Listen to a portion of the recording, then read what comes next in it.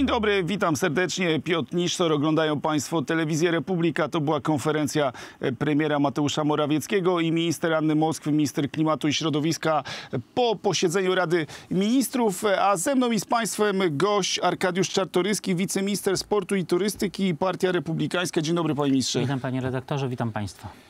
Pytanie, bo dzisiaj e, informacje, jakie do nas płyną, i to zresztą było jednym z tematów e, e, konferencji, e, Grupa Azoty i spółka Anvil e, zmniejszają produkcję nawozów. E, Wicepremier e, Jacek Sasin e, i wicepremier Henryk Kowalczyk mają wypracować e, plany, który ma spowodować to, aby właśnie tych nawozów nie brakowało, aby nie wpłynęło to w żaden sposób na kwestie związane e, z produkcją rolną. I pytanie, jak pan ocenia e, tą sytuację i czy jest w pana ocenie zagrożenie, e, że jednak e, te nawozy, tych nawozów może zabraknąć, a co za tym idzie, no może być e, problem związany na przykład z żywnością.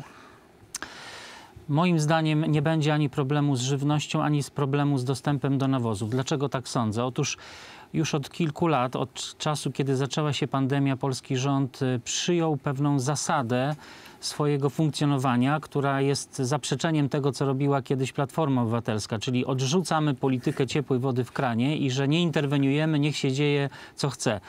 Te interwencje były zarówno wtedy, kiedy była pandemia, kiedy był atak Rosji na Ukrainę, kiedy mieliśmy do czynienia z i- klęskami żywiołowymi. Zawsze była e, interwencja na rynku, tak ażeby podstawowe e, elementy funkcjonowania państwa były, były bezpieczne. Również w tym przypadku, jeżeli chodzi o, tą gwałt, o ten gwałtowny wzrost cen, bo proszę zwrócić uwagę, że No właśnie, tej- bo tu chodzi o ceny gazu, które e, są który jest rekordowe dzisiaj. podstawą, który jest podstawą do produkcji nawozów e, sztucznych. Również jeżeli chodzi o ten gwałtowny wzrost cen gazu, w przypadku produkcji nawozów niezbędnych do produkcji żywności, e, tak jak pan premier powiedział, będzie ze strony państwa interwencja, taka, żeby nawozy były dostępne, taka, żebyśmy nie mieli problemów z produkcją e, żywności, bo bezpieczeństwo żywnościowe jest absolutnie fundamentalne i moim zdaniem konstytucyjne są podstawy do tego, żeby ten element, jakim jest bezpieczeństwo żywnościowe, był wyznacznikiem do działań państwa.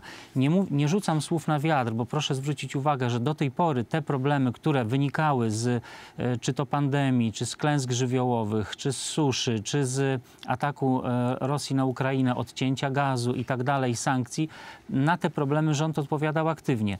Cały czas prowadzimy politykę bardzo aktywną. Jak chociażby e, przedłużenie tych wszystkich przepisów związanych z tarczą antyinflacyjną. Najpierw do, jesieni, najpierw do lata, teraz do jesieni e, tego roku. Panie, panie ministrze, I, teraz jeszcze, co była ciekawe- mowa, jeszcze była mowa o tym, że będzie dodatkowe posiedzenie Sejmu, aby przeprowadzić dwa projekty bardzo istotne, projekty, które mają dać no, przede wszystkim dopłaty i co za tym idzie bezpieczeństwo tym wszystkim, którzy no, będą chcieli e, tą zimę przeżyć w spokoju, bo wiadomo, że e, węgiel e, i co za tym idzie ciepło, to jest ten kluczowy element. I tu pytanie, czy w Pana ocenie nie obawia się Pan, że zabraknie w Polsce węgla, że dla niektórych w Polsce dzisiaj zima może oznaczać no, to, że tego ciepła jednak nie będzie? Czy istnieje takie ryzyko? E, tak, e, no czasami trzeba zebrać Sejm nawet w okresie wakacyjnym, taka, żeby wyjść naprzeciwko, naprzeciw e, realnym e, zagrożeniom i potrzebom. Jeżeli chodzi o e, zimę i zapewnienie ciepła, to tu jest kilka elementów. Po pierwsze, przyjęliśmy już te wszystkie ustawy, które są związane z dopłatami dla posiadaczy indywidualnych piecy na różne paliwa, bo to nie tylko węgiel. Po drugie, rozpoczął się bardzo intensywny import z różnych kierunków e, węgla, w tym węgla również dla gospodarstw indywidualnych. Po trzecie, rozpoczęło się zwiększenie wydobycia węgla e, e, krajowego i jeżeli chodzi o węgiel, absolutnie tego węgla w moim e, odczuciu i z moich wiadomości wynika, że nie zabraknie. Jeżeli chodzi o inne źródła, jak chociażby najważniejsze, jeżeli chodzi o inne ważne źródła, bo tutaj obok węgla drugim takim bardzo istotnym źródłem jest gaz, to przypomnę, że nasze magazyny są najbardziej, najpełniej zapełnione w całej Europie. Nikt nie ma dzisiaj sytuacji takiej, zaryzykuję, że powiem, że w tej chwili ponad 100 105-107% nawet wypełnienia magazynów. Skąd, wiadomo, skąd te 107 powyżej 100%? Otóż zostały w stosunku do tego, co jeszcze było kilka miesięcy temu, zwiększone możliwości magazynowania e, gazu w polskich e, magazynach. Także mamy własne wydobycie, mamy własne magazyny i oczywiście oczekujemy jesienią na otwarcie mm, e, gazu z szelfu norweskiego. Gazu również nie zabraknie.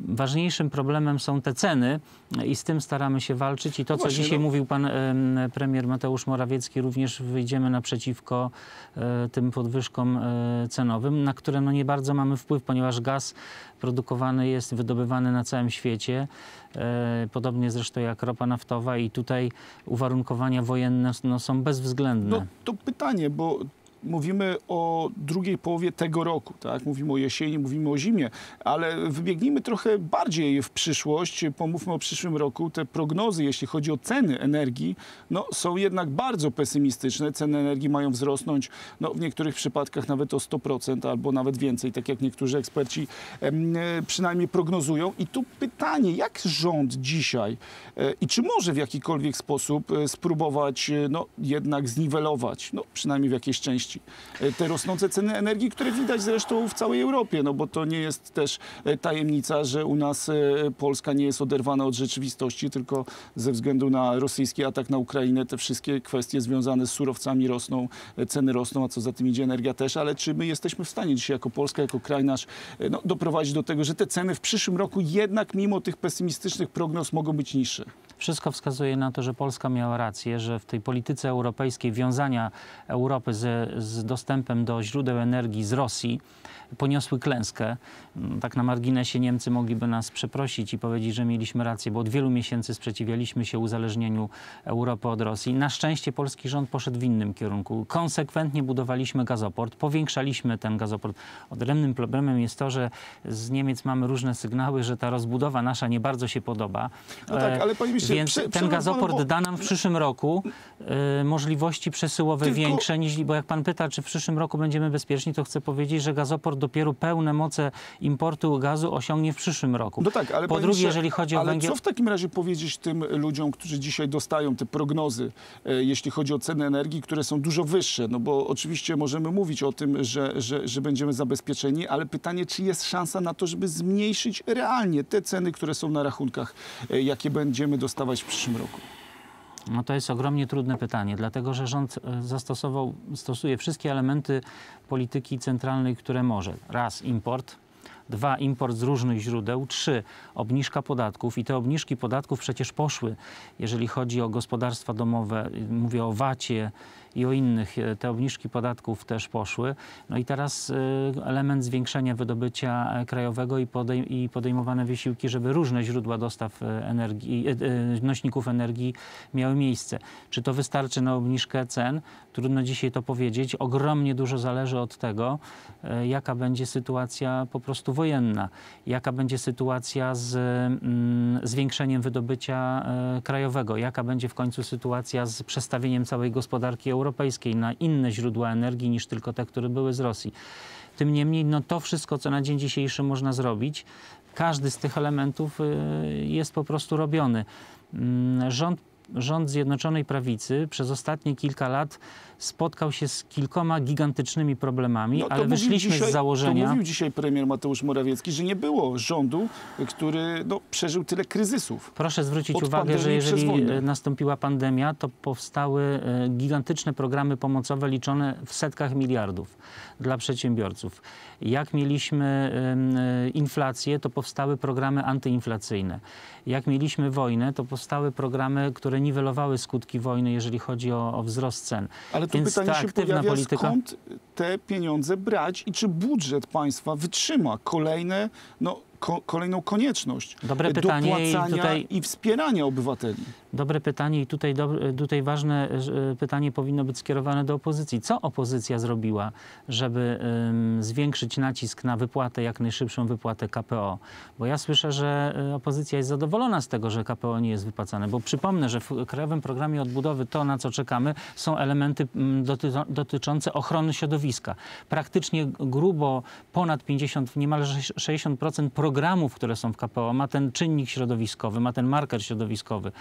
I e, dobrze by było, żeby opozycja tutaj wsparła e, polski rząd, stanowczo wsparła polski rząd, zamiast cieszyć się z tego, No ale że to mamy chyba są raczej mrzonki po, po tym, jak e, dzisiaj politycy opozycji no, występują przeciwko rządowi pod adresem rządu. Wiele no, słów e, kryty, krytycznych, wręcz oskarżeń e, o niekompetencje. No i pytanie, czy jeśli to KPO będzie się opóźniało, bądź na samym końcu w ogóle te pieniądze z KPO do Polski nie trafią, to czy my jako kraj jesteśmy w stanie poradzić sobie mimo braku tych środków?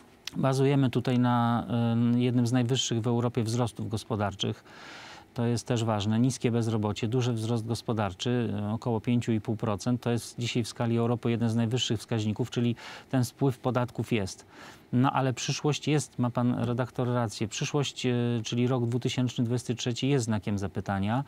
Y, I czy będzie dalej wojna, czy będzie y, agresywna polityka co niektórych y, mm, polityków europejskich, jak na przykład pani W- W- Vera Jourowa, chyba dobrze to nazwisko wymawiam, y, jeżeli chodzi o polskie KPO, no bo tutaj ewidentnie lewackie postawy niektórych polityków europejskich są wrogo nastawione do Polski. Nie wiem, zazdrość z tego, że się rozwijamy gospodarczo, zazdrość z tego, że możemy pomagać polskim obywatelom i ukraińskim obywatelom. Też warto przypomnieć, że przyjęliśmy kilka milionów e, ludzi z Ukrainy i nie dostaliśmy na to ani grosza z Unii Europejskiej. To świadczy o kondycji polskiej gospodarki. No ale chyba na przyszłość, ale chyba na przyszłość to był no, bardzo dobry em, ruch, e, nie tylko ze względu na to, że wspieramy e, tych, e, którzy są ofiarami ataku e, Władimira Putina, ale również dla naszej polskiej gospodarki, bo przecież e, część, duża część pewnie z tych osób będzie pracowała na polskie PKB. To prawda. e, W dzisiejszej e, Europie e, pracownicy, zwłaszcza wykwalifikowani, chętni do pracy, są jak najbardziej przydatni i na takich z Ukrainy jesteśmy otwarci, ale musimy robić to bardzo delikatnie, po przyjacielsku, no bo słyszymy też i głosy pana prezydenta Załęskiego, że chciałby, żeby ci ludzie też wrócili na Ukrainę, więc to jest ogromna pomoc. Cieszymy się, że ci ludzie też przyspieszają, też przysparzają wzrostu, bo część z tych osób bardzo rzetelnie e, Natomiast czy będzie to trwały element, zobaczymy w przyszłości, jak się potoczy wojna na To, Ukrainie. panie ministrze, zostały niecałe dwie minuty. Jeszcze chciałem pana zapytać o to, jak e, faktycznie wygląda dzisiaj sytuacja w koalicji. Czy no, te niesnaski, te, ten kryzys, te, te, ta różnica zdań jest tak poważna, jak próbują niektóre media e, to opisywać? Czy jednak mimo wszystko e, te wewnętrzne utarczki w koalicji to, to co już dawno było i nie ma to większego znaczenia, jeśli chodzi o funkcjonowanie Zjednoczonej Prawicy? Jestem w telewizji Republika i w Partii Republikańskiej i tutaj, jeżeli chodzi o moją formację, e, która tw- współtworzy Zjednoczoną Prawicę, to mm, staramy się być bardzo trwałym e, elementem tej koalicji, bo zdajemy sobie sprawę z tego, w jakim momencie jest, historycznym Polska jest. I ten moment historyczny powinien być wyznacznikiem do pewnych zachowań nie tylko dla koalicjantów rządzących, ale również dla opozycji. Nie będzie i nie było przez 30 lat ani jednego takiego roku, który byłby takim dużym wyzwaniem dla opozycji, w którym to właśnie roku mogłaby opozycja pokazać pewnego rodzaju wsparcie, a nie po prostu łomot na każdym kroku, a nawet podważanie wiarygodności państwa polskiego, bo proszę zwrócić uwagę, że co niektórzy e, politycy opozycji nawet podważają e, wiarygodność polskich instytut, instytutów badawczych. Myślę tutaj o Odrze, e, że tutaj Ale to prawda, panie ministrze, ostatnie nie pytanie, będą. ale wyobraża pan sobie, że wychodzi Donald Tusk, lider Platformy Obywatelskiej i mówi zgadzam się z rządem Zjednoczonej Prawicy, będę wspierał Mateusza Morawieckiego, będę wspierał członków rządu, bo to jest ważne dla Polski. Czy pan sobie wyobraża taką sytuację?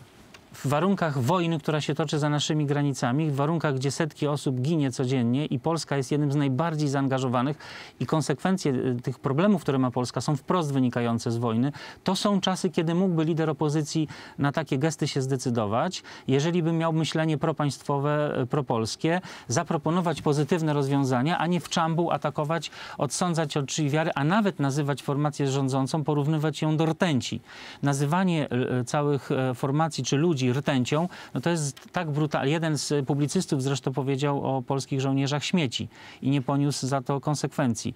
Pan wie, kogo mam na myśli. No, Teraz przyrównywanie, że cała formacja rządząca jest jak rtęć, no, a ta rtęć się okazała fejkiem, no to w takich warunkach Panie nie tylko, że nie pomaga, ale zaprzecza tej propaństwowej Musimy myśli. postawić kropkę. No, niestety po tych słowach chyba trudno się spodziewać, że tutaj Donald Tusk będzie e, wspierał e, no, w tych bardzo istotnych sprawach, w których powinien rząd Zjednoczonej Prawicy. Ja bardzo dziękuję. Moim Państwa gościem był Arkadiusz Czartoryski, wiceminister sportu i turystyki Partia Republikańska, a ja zachęcam Państwa do pozostania z telewizją Republika. Wracamy już za chwilę.